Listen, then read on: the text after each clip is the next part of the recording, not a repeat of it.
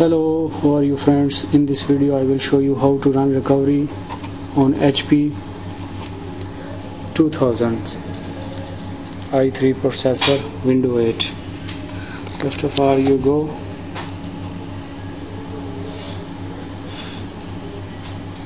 Setting. Change PC setting. Then this page open. Now you click general and go down. Scroll down. No see. Here two message. Refresh and PC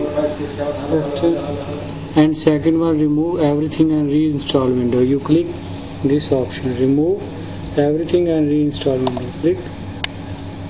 And click next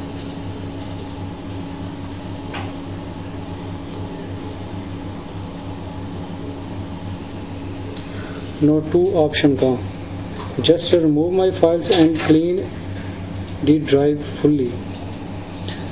You click up one just remove my files.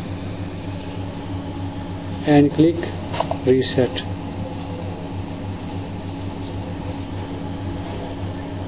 Now your recovery is running. Thanks for watching